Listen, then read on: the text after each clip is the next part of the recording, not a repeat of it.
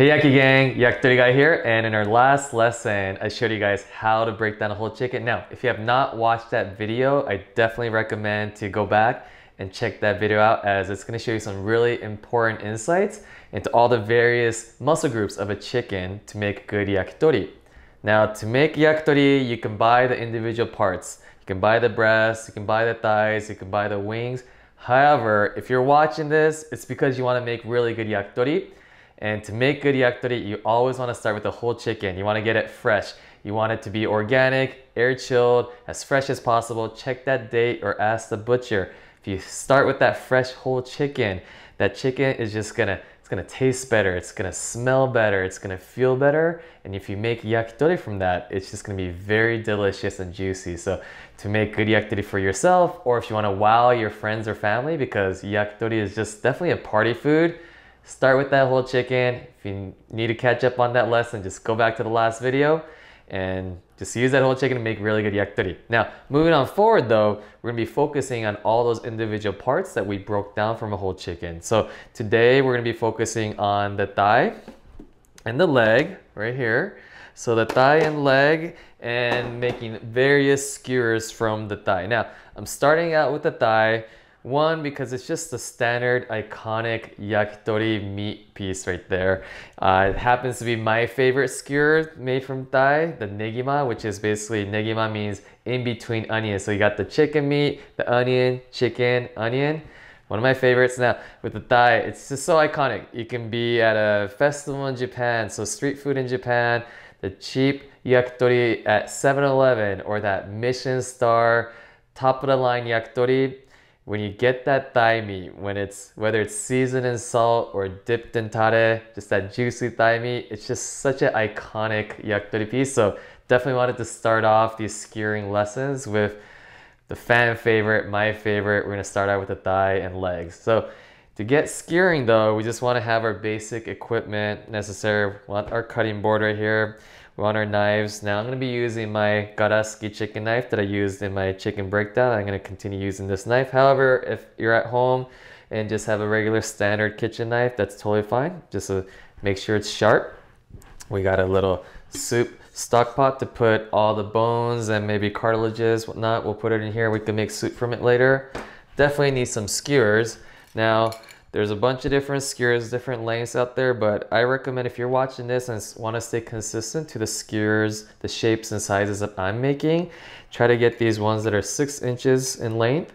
Now, these are the round ones, and these are more of a square. This is usually online, they're sold as paddle skewers. In Japan, these are called teppo skewers. Either of these can work fine. I tend to like to use these paddle skewers. It's just much easier for me to skewer into it. However, I can also use this. So whatever you guys have, we can probably make it work, but I think length is gonna be much more important just to keep all the shapes and sizes consistent.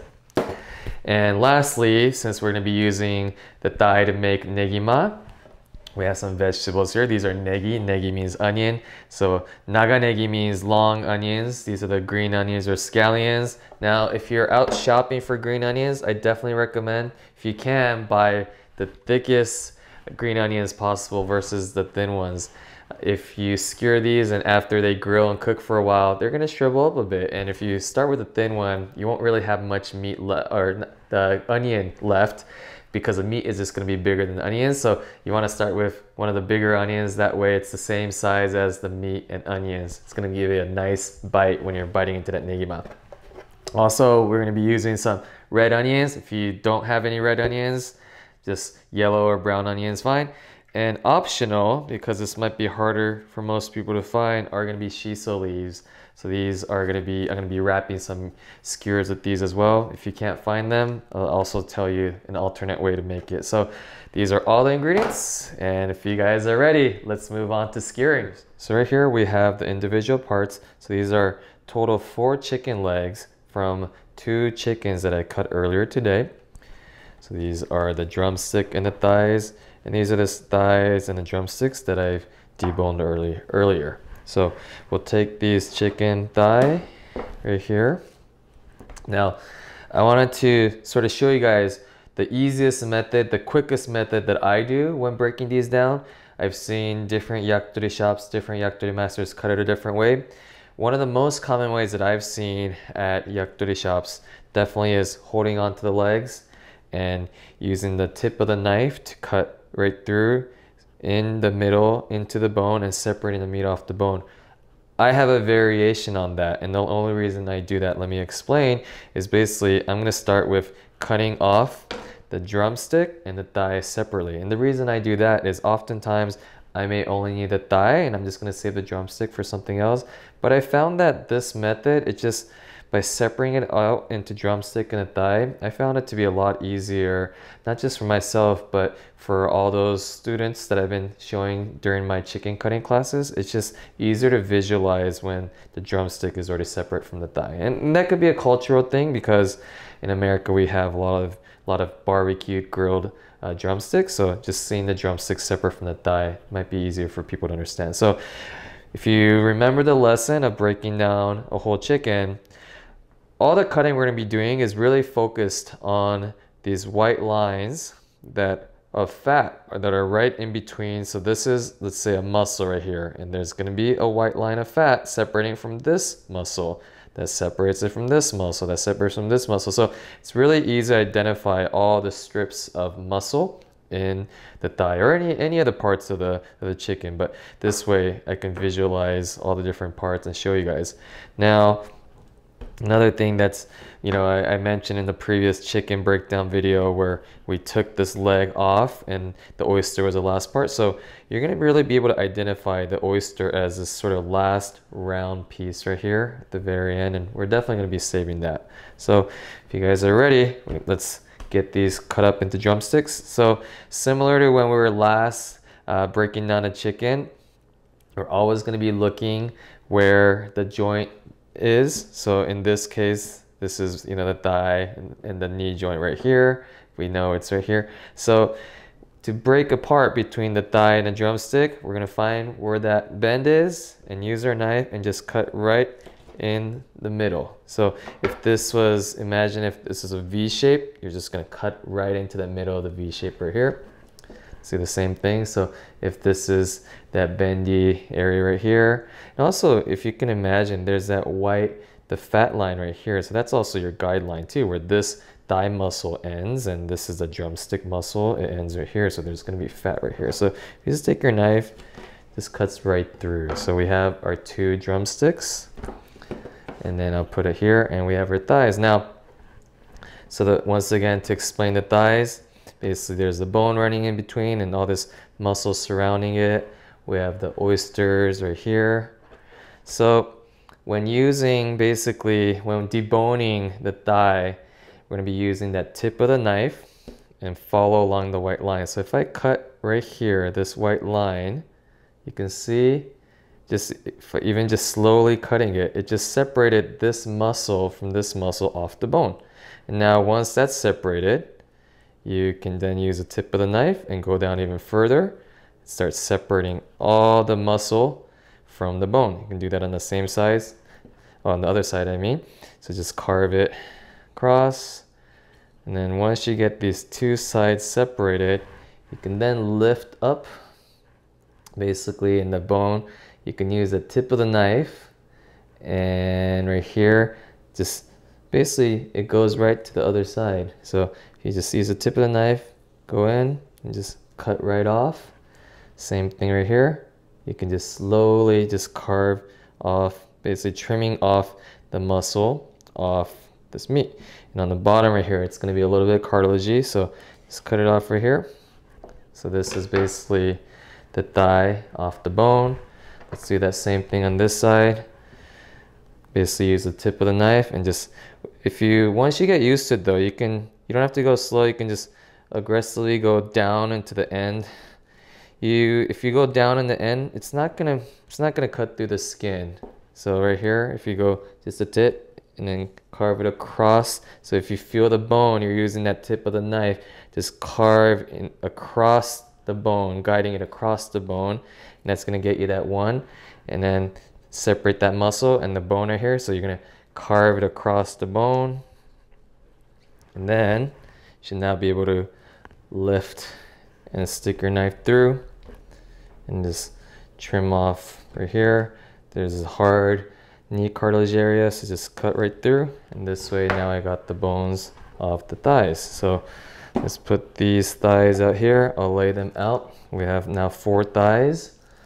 I wanted to show you guys certain things that can be identifiable. So definitely you're gonna start noticing once you cut a lot of thighs, you're gonna start noticing certain patterns in the thigh meat and all the meat's not gonna be random uh, muscle loins anymore. You're gonna start noticing that right here, this is the oyster. It's gonna be at the top, sort of a nice, does look like a small, you know, oyster. It's a nice round meat right here, as well as right here. This is, in Japan, we're calling it the toro, toro meaning just, you know, like fatty tuna, but this, this loin right here definitely just stands out. And these are, uh, Chef Kono was calling these the fillet. In Japan, I've learned these as a toro or inner thigh. Definitely this inner thigh and right here, this oysters, the most tenderest part of the, the chicken thigh. So we want to be able to identify those parts so we can separate those out. So for right here, so we know that this is the inner thigh. So we're just gonna carve that right off, the inner thigh, carve that right off. Here, inner thigh. And now some of the inner thighs definitely bigger than others. But you're gonna be able to identify always as a sort of long strip, almost similar in, in volume as oyster, but texture is a little bit different. It's going to be a much more, definitely looks muscular when you see these, these lines. Right here, let's go, go ahead and grab these oysters. Now the oysters, how I cut it, I just basically cut my knife into it, cutting through the skin. So I can leave the skin on the oysters. Kind of cut it as a rectangular piece with the oyster that's round and then the, the rectangular skin on. It's the same thing with all of them. We're just gonna cut off the oysters with the skin on.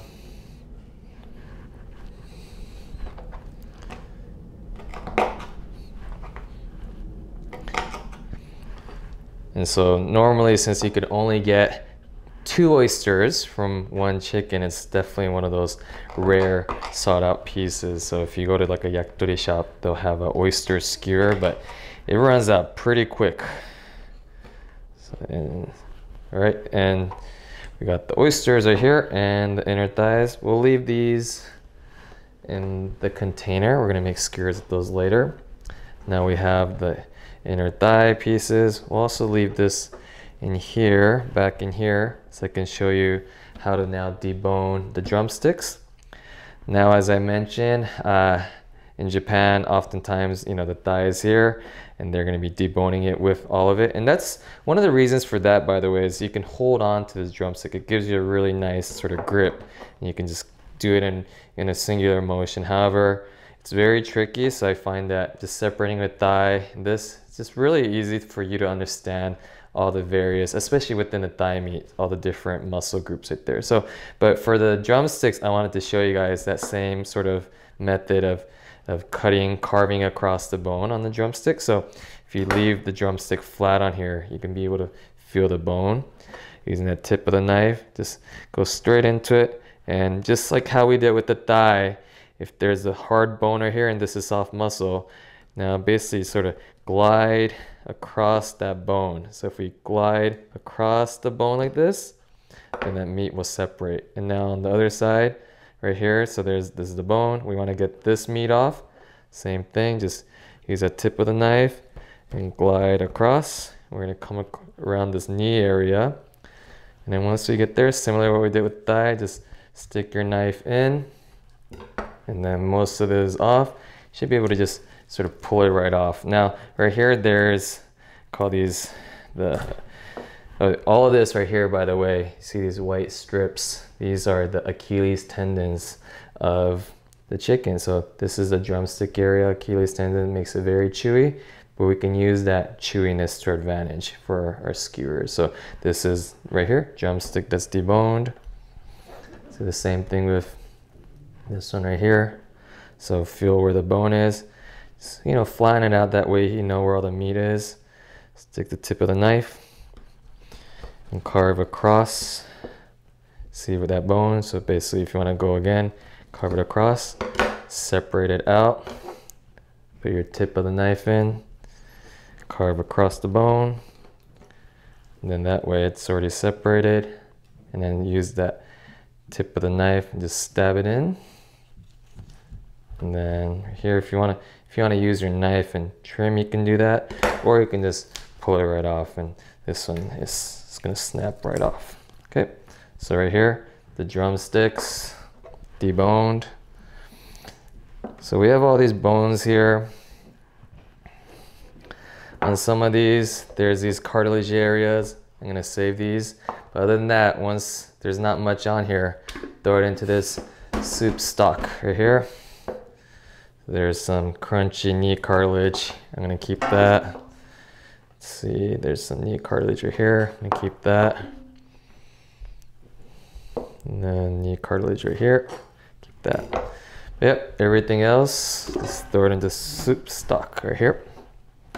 Okay, so next step, we're gonna start taking these chicken thighs and making these. Now, I wanted to show you guys just different ways to make negima. I wanna say maybe like the classic standard way versus sort of the way that I've been doing it recently. But let's start with the classic negima just to make it much easier on you guys. As usual, just always have towels on hand just wipe your hands especially with these chicken thighs and whatnot it's gonna get always um, sort of greasy from you know just all the fats so for the classic chicken negima the thigh negima we're gonna make it easier for ourselves by just removing the skin off just peeling that skin we can use that for maybe a skin skewer later but you have this thigh meat now the classic, classic, classic negima. We want to just make, just have cubes of essentially chicken thigh. So let's just cut them about one inch by one inch squares. Let's make it very easy. Very standard yakitori. So just cubes. Not real cubes, I guess they're more like flat rectangle, but if you can just imagine just about inch width and if you have various sizes that's fine you just kind of sort them out if you have something that's a little bit bigger in volume like this one you can just move that to the top okay now negima is going to be so chicken thigh and some green onion chicken thigh green onion so we're going to be using these uh, onions that I've already pre-cut. Now I think one thing that I do want to explain now that we can see close in these cameras. So these are the nice sort of thickness that I want. Let's see if it focuses. So I want sort of nice thickness like this. I want to say about a, a centimeter or if it's a millimeter, maybe like uh, a good size would be 8 to 10 millimeters. If you get a smaller negi, this is going to be maybe about mm, like six millimeters. It can work. You know, if this is all you can find at the store, that's fine. But when you have a meteor green onion, it's just going to cook better. So try to get these meteor ones.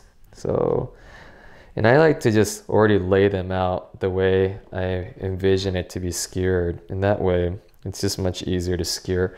Now, so this is, since this is gonna be the first time that we're skewering, I wanted to essentially teach you guys the right way or good habit to build right away as you're skewering. And that is always, always, always skewer on your cutting board. Do not skewer mid-air. And what I mean by mid-air is don't take your skewer and in mid-air start poking and skewering it. You always wanna leave it on the cutting board. So I'm leaving it flat on the cutting board and skewering it through like this, skewering it through flat. And actually what is going on is I have my right hand, my left hand, and the cutting board acts as essentially my, my third hand. It's holding this in place. Now if I do this, I can always, always consistently know that the only possible movement of error is gonna be this X and Y axis, right? So this way, this way. If I do it in midair, we have X, Y, and then Z axis. And you're just gonna have, you know, with yakitori, you want all the yakitori to be the same size, same shape, ideally as much as possible because if they're all over the size, uh, one, when you plate it, it's not going to look as good. But then more importantly, when you're cooking it, if they're different sizes and different shapes, they're going to cook unevenly. So when you're cutting the chicken, it's very important that the pieces stay the same. Also, when you're skewering it, you want to make sure they stay the same. So standard negima, this is using the cutting board and just skewering it into the cutting board. But right here, this is just a very, very, very standard chicken, onion, chicken, onion, chicken. Negima over here. Let's do another one. Keep it flat. Then push. Now once you get some in, you can always push it down a bit. Keep it flat. Gonna skewer through. Skewer. Okay, skewer through. And you always want the nice sort of center of balance so the yakitori grill that uh, I use, the Live Art electric grill that I use mainly, and a lot of you guys have already bought and are using, you know, that's resting on a metal mesh sort of grate. So the center of gravity may not matter too much. However, traditional binchotan yakitori shops, basically they're grilling between two rods. And in that case, having it centered is very important or else this is going to flip around on that grill. So making sure that nice center balance is very important as well as you know you think of the customer. If they're going to grab that skewer and about to eat it if it's lopsided and floppy it just doesn't feel right. So to show your craftsmanship you want to show that it's nice and centered. Another thing to note is leaving the skewers out. I've definitely seen uh, a lot of people when they're beginning to make yakitori, there's maybe like an inch or three inches of skewer coming out. If you have that much uh, skewer coming out the end when you're biting it, right? Like if your customer is biting it, your friend, guest is biting it, it's gonna choke them on the back of the throat. So definitely all you need is just a little bit just so that the meat won't fall off or if you're cooking it on traditional rod yakitori uh, uh, grill just enough so that it hangs on the rod. So right here, we have our standard negima right here. And then now I'm gonna work on what I, my version of my negima that I've been working on that I find that it's my with the skin on and I prefer that way it just ends up being nice and crispy so I'm gonna cut these with the skin on like this about one inch width and one inch width. These extra trimmings we're going to be using a little bit later, so we can always keep these aside. Now, now that I have essentially about one inch, one inch, take my negi and then skewer the center. So for this one, I poke through the skin and the meat, roll it, poke it through this way, move this, move it all down, go through the green onion again. Poke through the skin and meat first, basically kind of poking the bottom. And then I roll it and then poke it through. And then I get something like this. So, you know, if this is sort of the standard negima, this is the same thing, but negima with the skin on. And that way we get crispy skin along with the negima or the meat, the skin and the thigh meat. Now, I want to make this look even prettier, so what I always do is I end up just trimming the sides like this. Now, basically, just made it a little bit more square. So, right here, this is negima with skin. Standard negima, negima with skin. I'm gonna keep this for something else. Let's go ahead and go ahead and do another round. So with the chicken thigh though, I guess I can show you right here. You know, we are able to identify the oysters as well as the inner loin part, but there's always, and I actually just cut it off right here.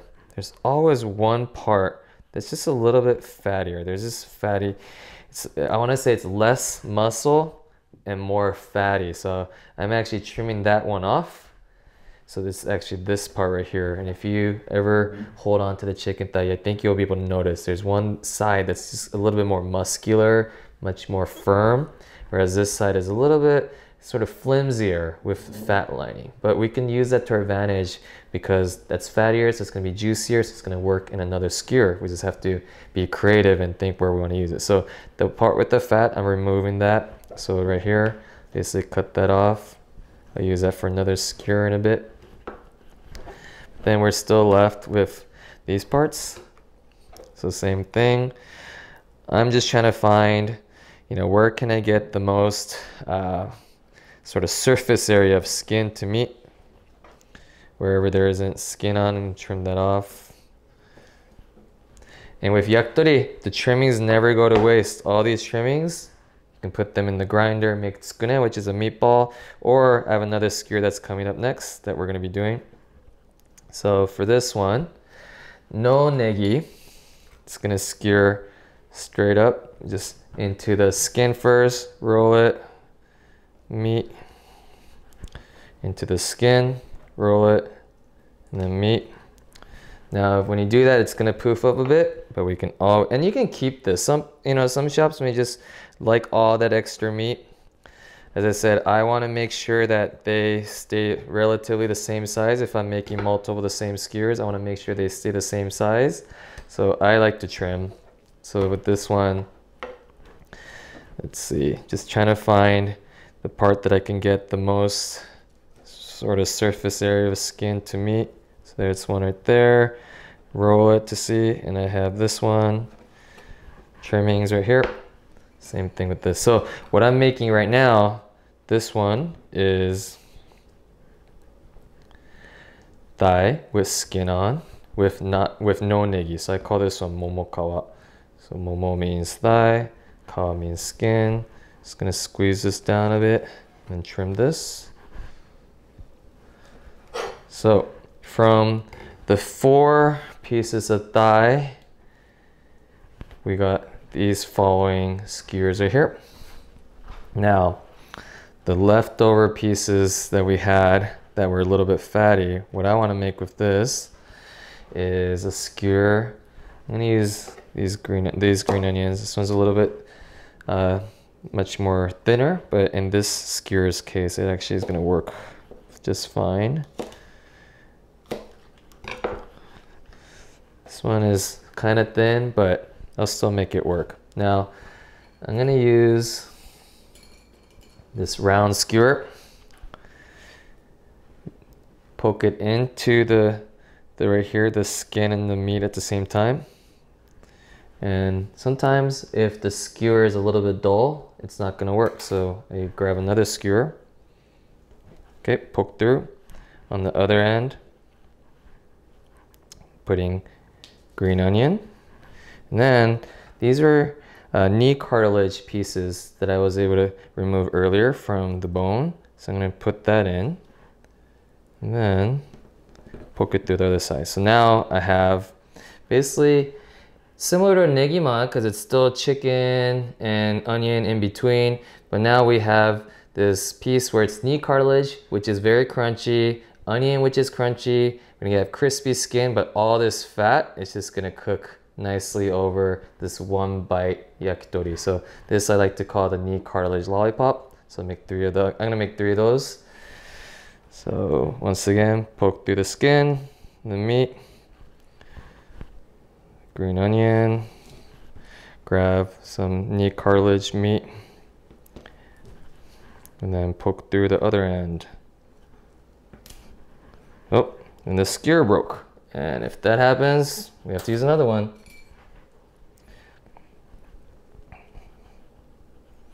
So sometimes I'm able to uh, basically fix these uh, the meat after you skirt, but other times the yakitori meat is, or chicken meat is very, very gentle or, you know, very soft in a sense of you can only skirt once and to fix something, it can be difficult. So definitely try not to break things. Right, trimming right here. So we have this lollipop and one more lollipop.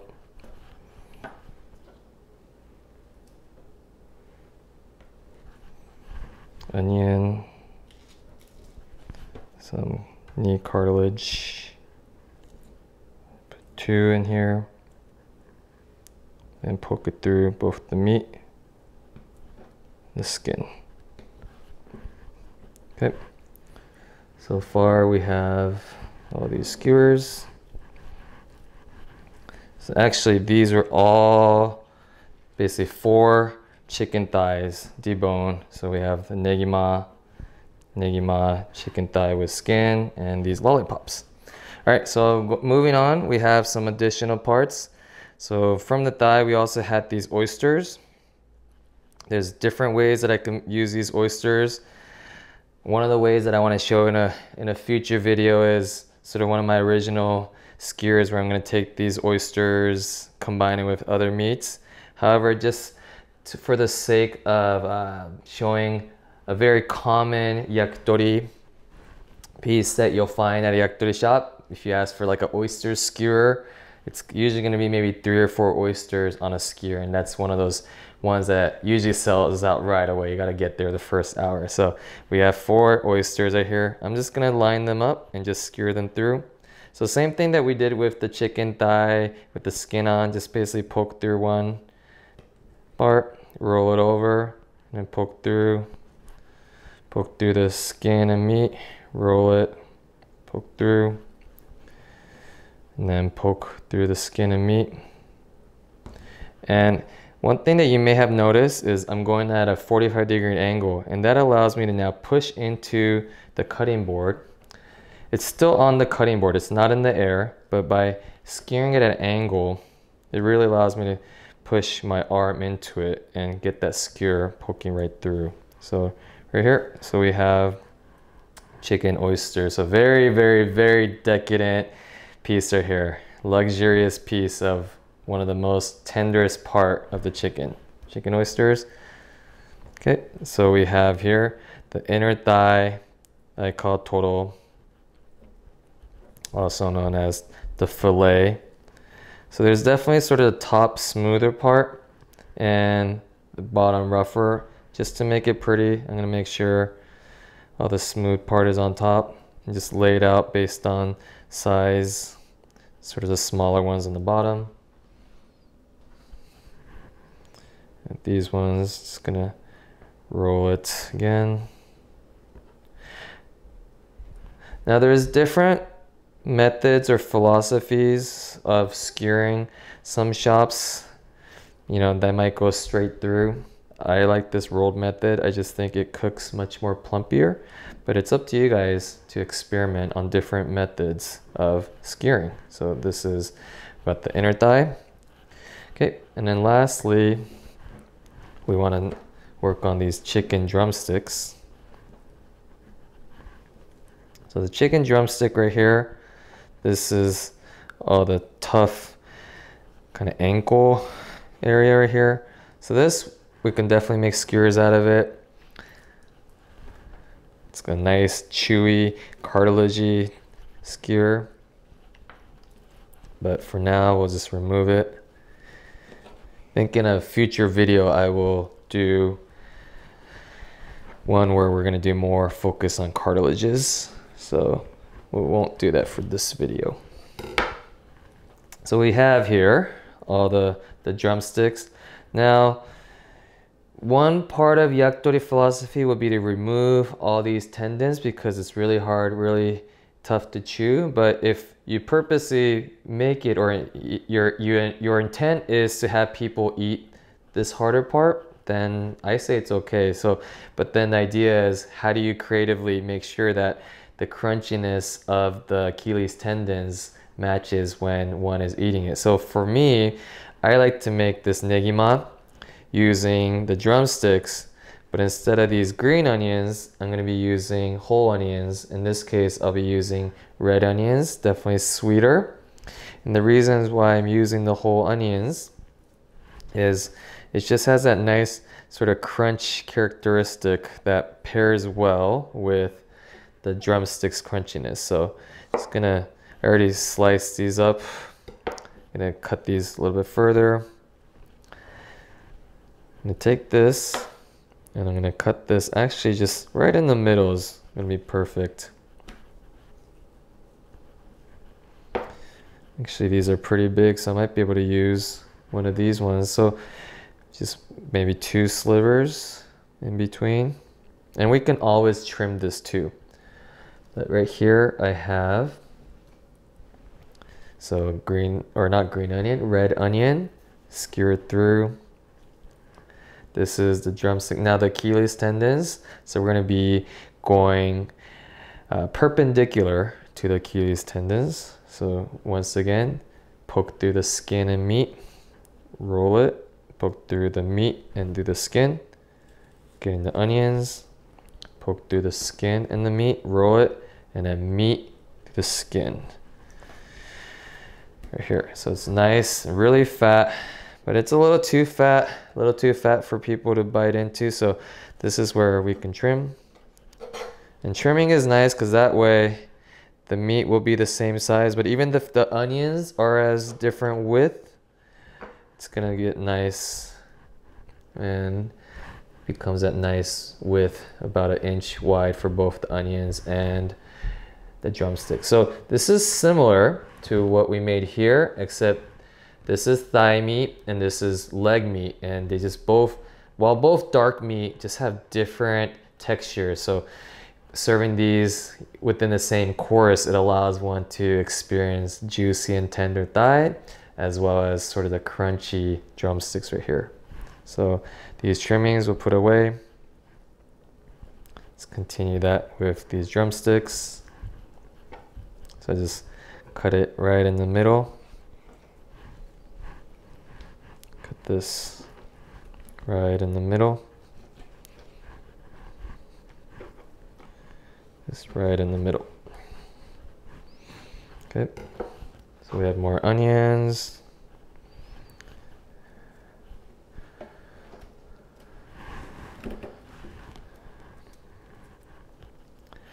So this dish, I've been naming it the Hokkaido negima. So negima means in between onions. And standard, usually you'll find standard in most uh, yakitori shops is going to be the green onion. However, in Hokkaido, a lot of the negima happens to have the whole onions. And it's usually not the red onions, but it is the the white onions or the brown onions. And the reason why I call it Hokkaido negima, it's the history behind it is at a shop in um, which was a port city uh, in Sapporo. So it was a very blue collar, I guess a poor man's city in Hokkaido. All the workers that worked at this, like the steel mills or the, the port, they wanted yakitori. However, this went, this was an era like after the war. People didn't have much money. The shops didn't have much money, and people wanted yakitori. Except it was hard to get chicken or grilled chicken. It was just pricey to get chicken in Hokkaido. So they were using pork and they're making yakitori using pork. Still calling it yakitori, even though technically that'll be yakiton. And instead of green onions, they were using whole onions. And that's because in the colder climate of Hokkaido, it was just much easier to grow the whole onions.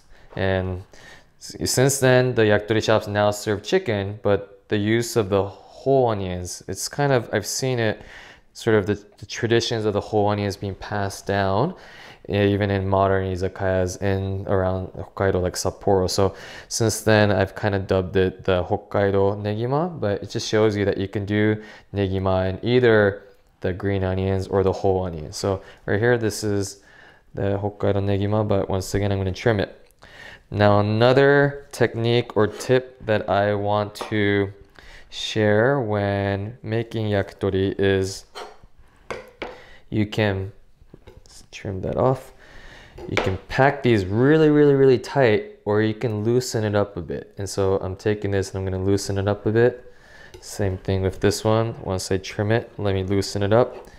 And the reasoning behind that is when the yakitori is really packed tight, as you cook the chicken, it's gonna expand. It's all the waters and everything, it kind of expands. And as it expands, if it's too tight, you're not giving it enough room to let it breathe and expand and it's actually going to squeeze out all the good juices out of the chicken so by giving it a little bit of space you don't want it too much gap it, it looks ugly when there's too much gap but if you give it enough space just to let the chicken expand a bit it's going to help keep the chicken much more juicier. So these are all these small sort of tips um, you know that I've learned over time that I definitely want to continue to teach you guys because these are the small things that let's say have been passed down from shop from shop that makes a difference between a very delicious juicy yakitori versus one that is you know dry and not as tasty. So it's all the small things that you know people may not notice that goes into yakitori making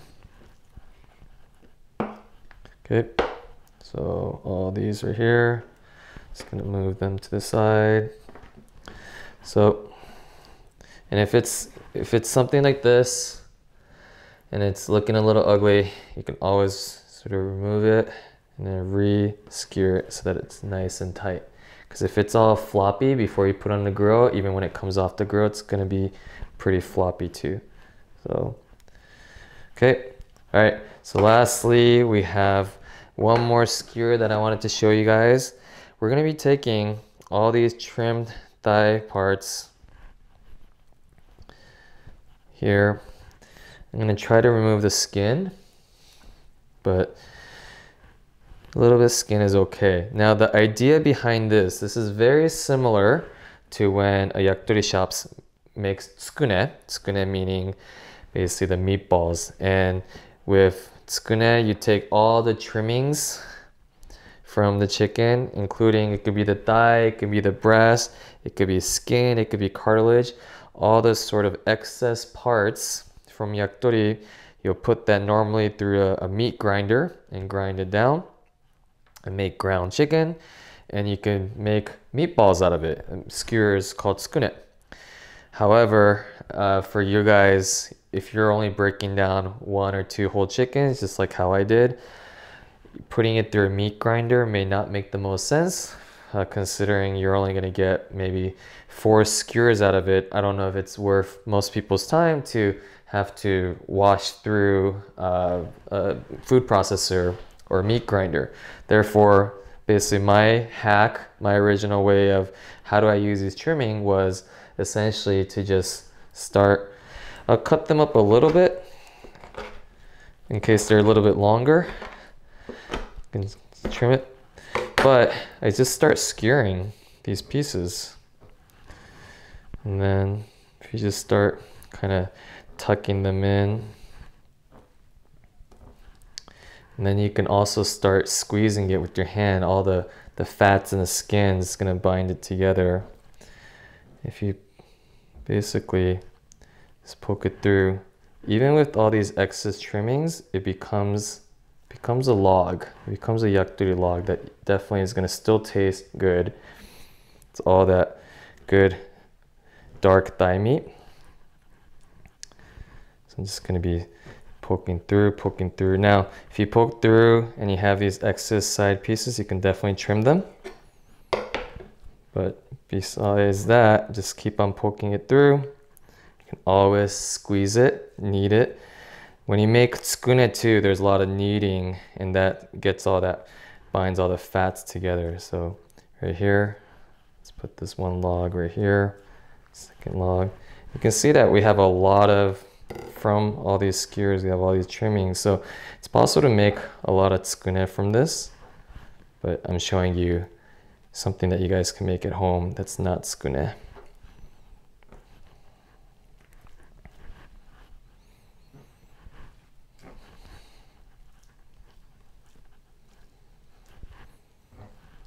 And there's some parts of green onions mixed in there from what I trimmed earlier on the negima.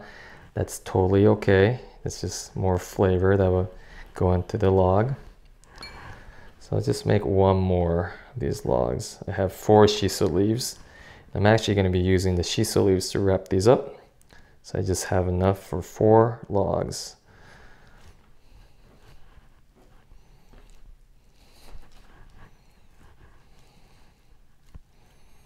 Okay. So any of these extras, I'll put it away. Trim these a bit. Even with these logs, it's very important that they're somewhat of the same length, same consistency. I'm gonna wash my hands real quick.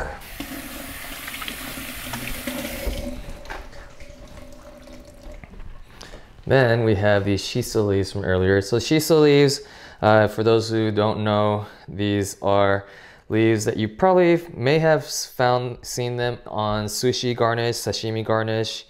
It is similar to basil, mint. Anywhere where you use basil or mint, I think you can pretty much use shiso. So in cocktails and desserts, shiso works very well.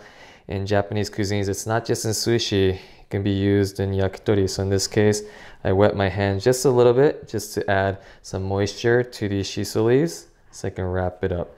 And this way, even if these are you know chunks of, of chicken trimmings, the shiso leaf essentially holds it in place. So now we have these logs.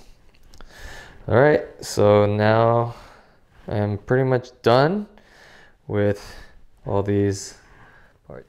All right guys, so we're just done skewering from four chicken legs. So that's basically four chicken thighs and four chicken drumsticks. We're able to make 18 skewers. So right here we have the classic negima, negima with skin, and then a thigh with skin. So these are all thigh meat right here. From the drumsticks, we're able to make four of these Hokkaido negima. Special parts within the thigh, we have here the oysters, and in the inner thigh, and also from the thigh and the knee cartilage combined together with some onions, we have the knee cartilage lollipops. And all the trimmings, because in yakitori, every part does not go to waste. All the trimmings we're able to skewer to make the shiso maki, so shiso wrap trimmings right here. And any of the bones or cartilage that we're not using goes into the soup stock. Basically, we're gonna make some good chicken soup out of this. But just wanted to show you guys from even the same chicken thigh, same drumsticks, you can make all sorts of different yakitori. And all of this, this is sort of this yakitori that I make, but this is not necessarily a standard as in every shop, they have their own methods of using chicken thighs or making even negima. Some shops are gonna use chicken thigh for the negima. Some shops are gonna be using chicken legs. They might combine the thigh and legs. Some places might have thigh and breast. So I really wanted to encourage you guys to take chicken, whether it's a thigh, drumstick, or even other parts, and use maybe this as sort of a starting point, but be inspired to make your own skewers. And that's one of the my favorite things about yakitori is you can make things up based on there's definitely traditions and sort of guidelines that have been passed down from master to master, shop to shop, and shared among the community. But what's really awesome for me, what I think is cool about yakitori is you can take those same rules and make it your own. As long as it tastes good and you have fun doing it, I think that's all that matters for yakitori. So right here, these are the skewers that I made tonight for you guys, but take it and basically have it your way and enjoy. That's what's fun about yakitori. So this week, the focus is on thigh and legs. Next week, we'll be focusing on other parts.